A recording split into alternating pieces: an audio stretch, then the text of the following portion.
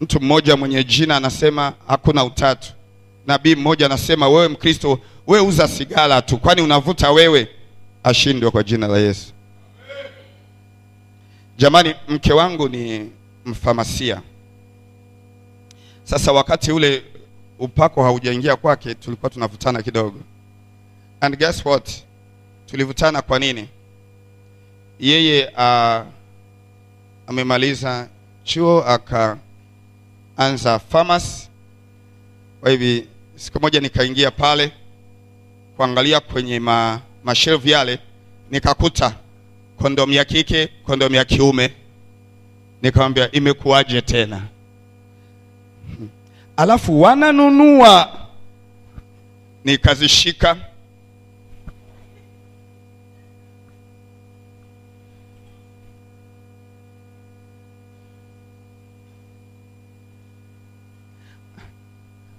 Eti kwani umesahau? Unakumbuka? Ha, hakuna ujanja ujanja ya kwamba hata usipowauzia wewe wataenda kununua kwa wengine. Kwa hivi unampa mtu sumu.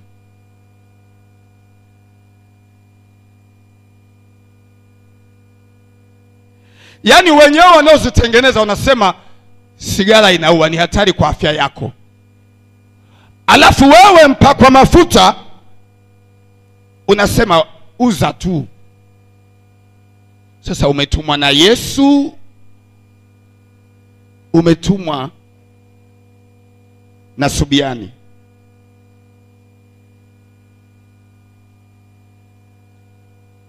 Bwana Yesu asifiwe. Hebu sema kweli yote, kweli yote.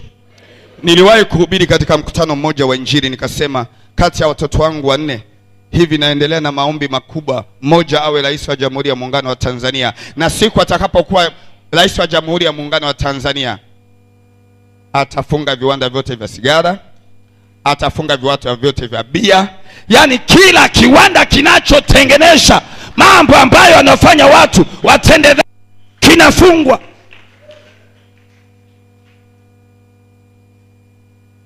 Kwani tunategemea uchumi wa sigara sisi? Tunategemea uchumi wa pombe? Yaani sigara zinaleta hela bilioni mia kwa mwaka, kodi ya sigara, alafu bilioni mia moja hamsini kuwatibu wenye tiba. Sasa una akili, the economics doesn't agree. Umepata milioni mia kwenye kodi ya sigara, ukatumia milioni mia moja hamsini kutibu TB,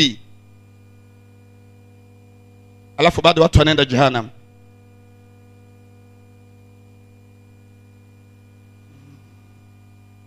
Sema na iwe hivyo kwa jina la Yesu Kristo maana Mungu hai. Haleluya. Tuna twiga, tuna ziwa Tanganyika, ziwa Nyasa, tuna bahari ya Hindi. Ukitembea Tanzania, asilimia sabini ni mapoli. Kwanza sijui hata kama tunafika asilimia thelathini, kwa sababu nikiendesha gari unakwenda unakwenda poli na mapoli.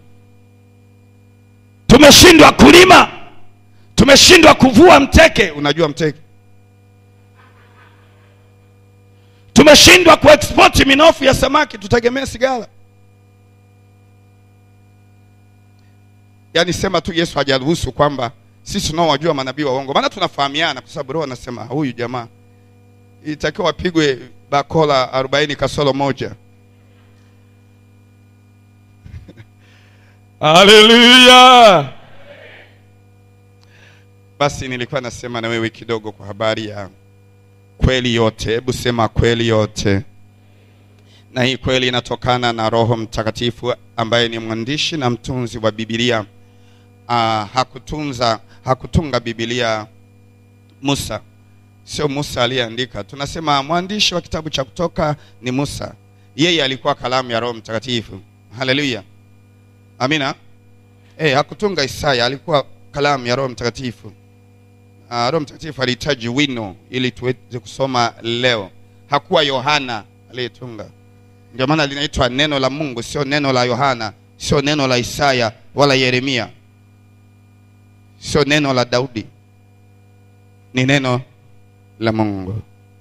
Mshangilie Yehova. Haleluya.